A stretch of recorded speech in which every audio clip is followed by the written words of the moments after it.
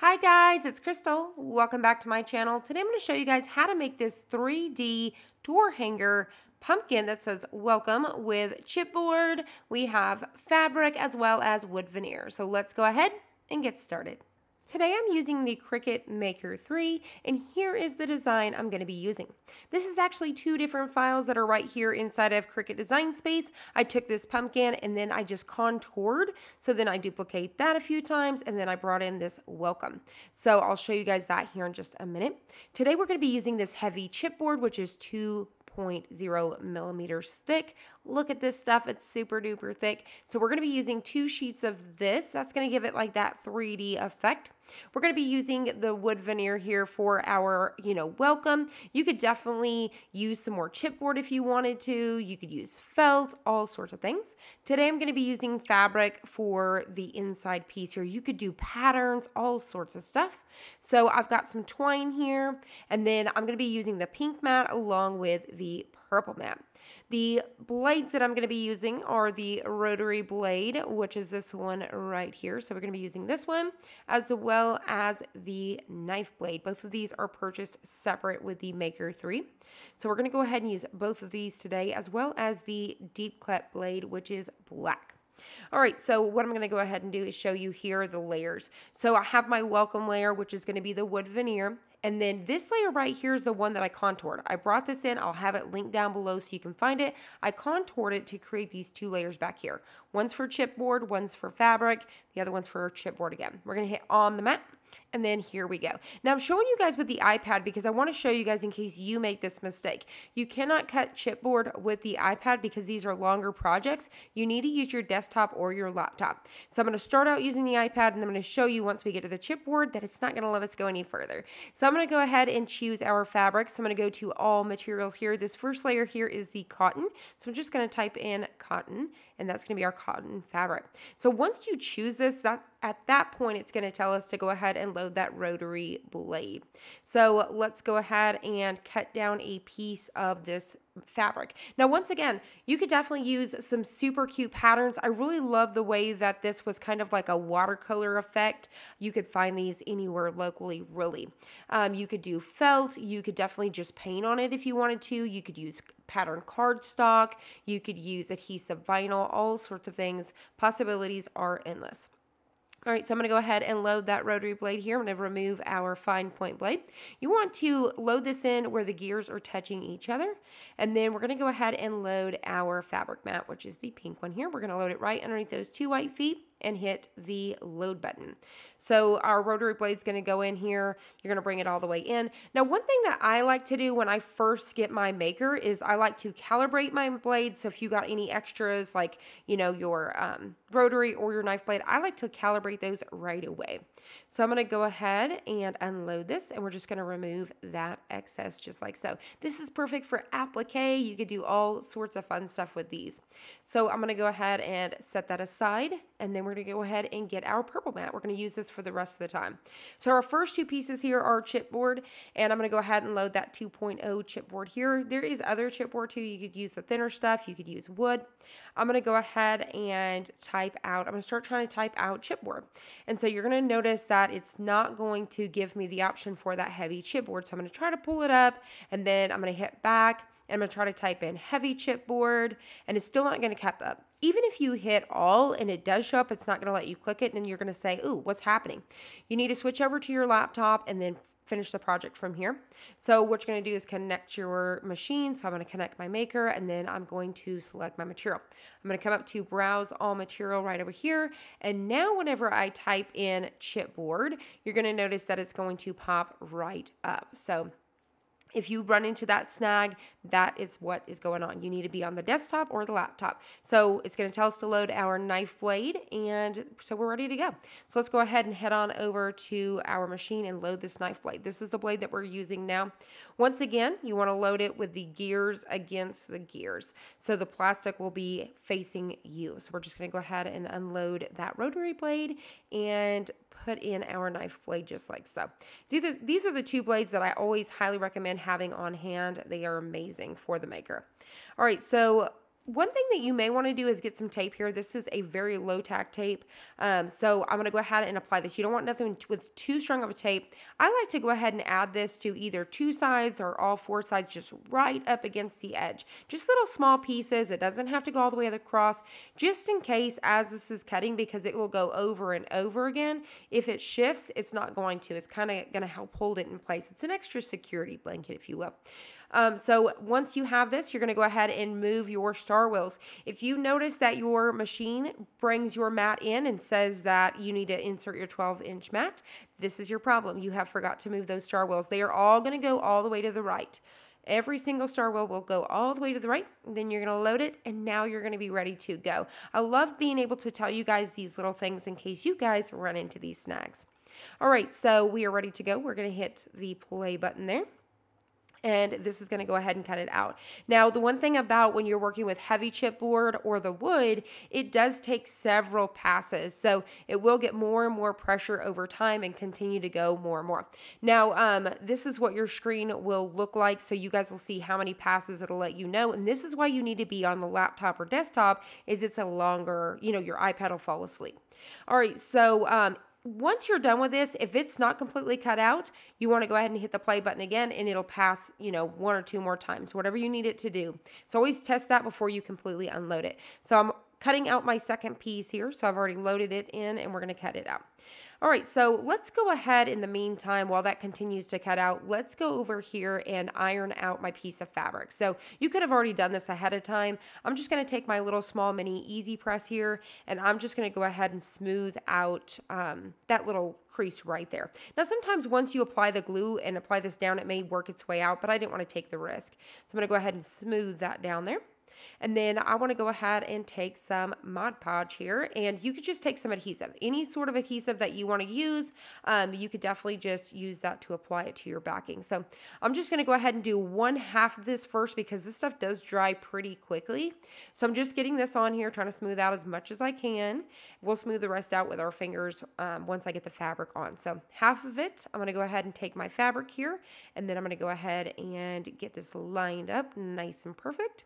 And then I'm going to smooth everything out. So we're just rubbing everything in. I'm going to fold it over and I'm going to go ahead and get the other side.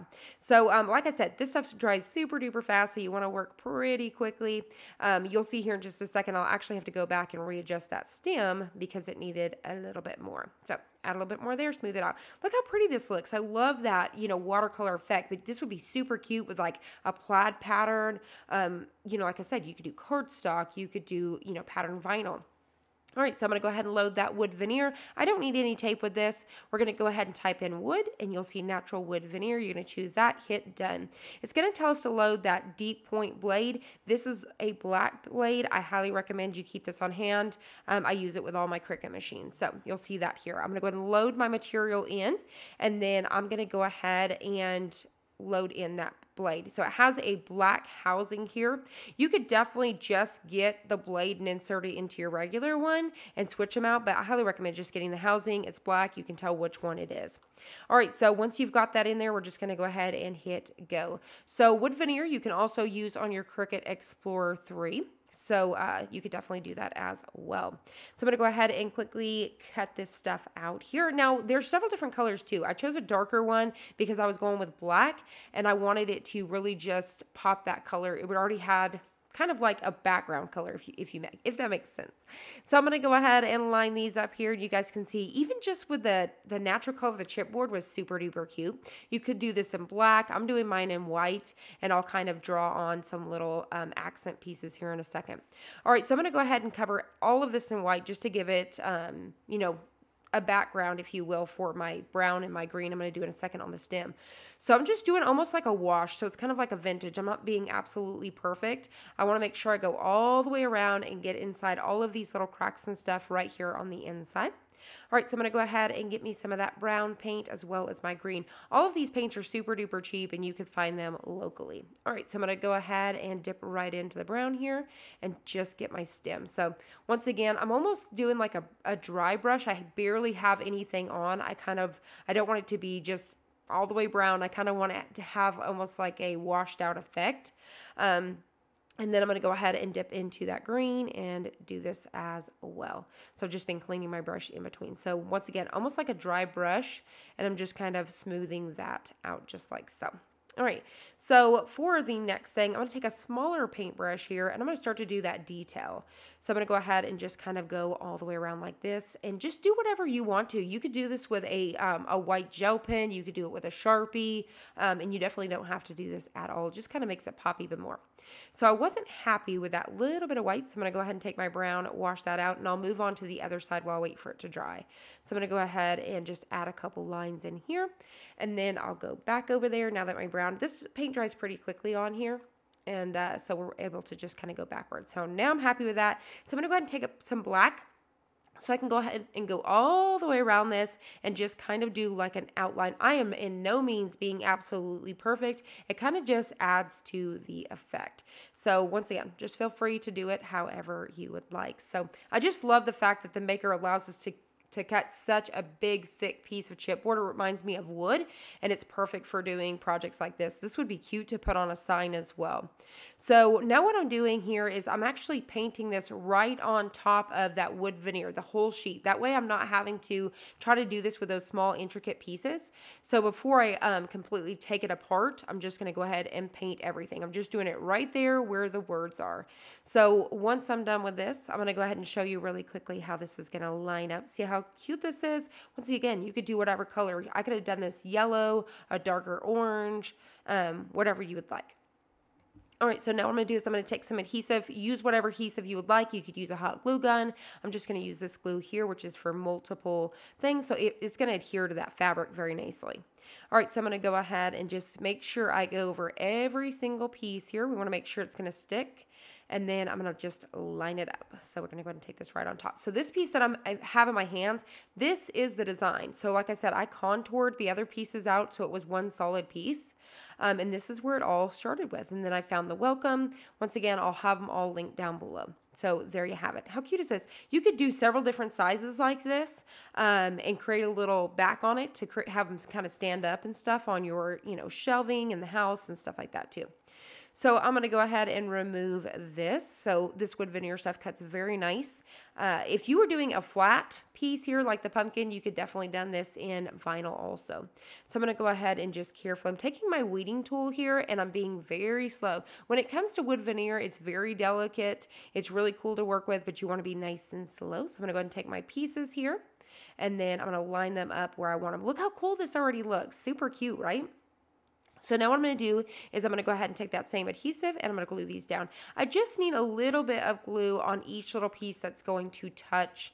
Um, since it's like a 3D, I don't need glue all the way across this thing. So whatever pieces are touching that outline of the pumpkin, that's what I'm going to do. So I'm going to go back quickly, flip it over, trying to remember exactly where those were touching. And then uh, I'll just get some adhesive on there and then I can adjust once I have it down. So just like so, I'll flip it over and try to line everything back up. I really am in love with the way this came out. This would be super cool too on one of those big round circles that everybody does for the door hangers as well. Also would be super cute on a welcome sign that you may have outside. Just lots of ideas to do with this thing. All right, so we've got everything lined up, looking good. So I'm loving the way that this is looking. I'm gonna go ahead and get this out of our way here and we are going to work on our our next thing. So I'm actually using this stiffen stuff here and I just wrapped it around a pencil. I just took that twine there and I used some tape to hold down both sides and I sprayed it with that stiffen stuff, set it aside and let it completely dry. You could dry it faster with a hair, um, hair dryer and then it creates these super cute curls, which I'm going to use right here. So that, see how cute that is? So I'll tape that on the back here in just a second. Um, absolutely love using that stuff, so I highly recommend um, trying that out. All right, so I'm going to go ahead and cut this away just like so. So I'm just creating my own ribbon. You could use ribbon, but I'm just using some fabric here. And uh, what I'm going to do is I'm going to have the pattern face up and I'm going to tie it just like I was tying my tennis shoes. So just like that. Very easy, right? All right, so now we are ready to just kind of straighten this bow up and then I'm going to trim off any excess, just doing my little angle here and there you have it. Super, super cute. So all we have left now is just going on the back I'm in love with it. Super cute.